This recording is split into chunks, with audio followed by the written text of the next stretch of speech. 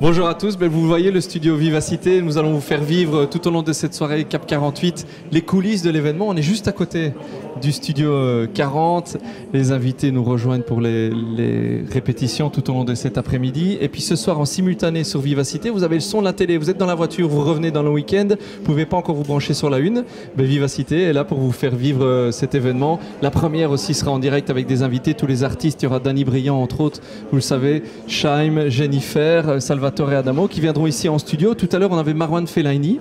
Et ça, moi, je voulais faire ça cet après-midi dans l'émission spéciale euh, Viva Sport. C'est confronter les expériences des valides et des moins valides. la maladie, le handicap me touche personnellement. Ma maman a sclérose en plaques. Elle est en chaise depuis plus de 10 ans.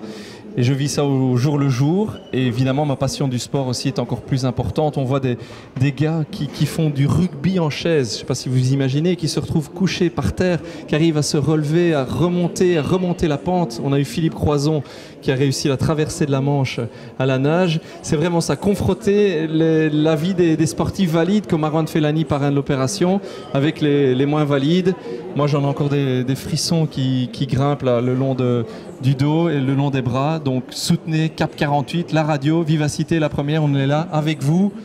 On compte sur vous tout au long de cette soirée de, de radio également. Bonne soirée.